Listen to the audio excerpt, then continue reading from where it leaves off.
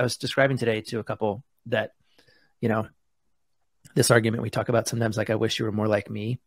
And he goes, well, it's kind of, I guess it's everybody's challenge is to figure out how to manage difference. And I go, yeah, but it's almost like there's this big globe and it's, it's a 3D globe and people may be inside of it and they might be really far apart. They might be really close. The task is the same, but some people have to work a lot harder to draw in the difference. I know that's a weird thing to say, but, um, mm.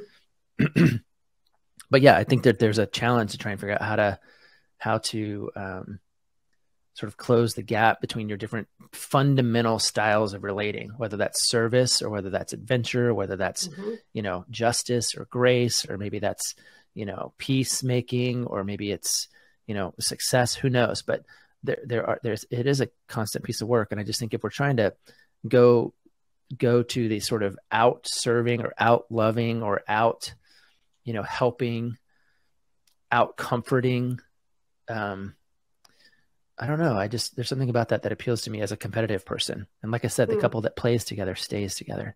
So maybe turn it into a game.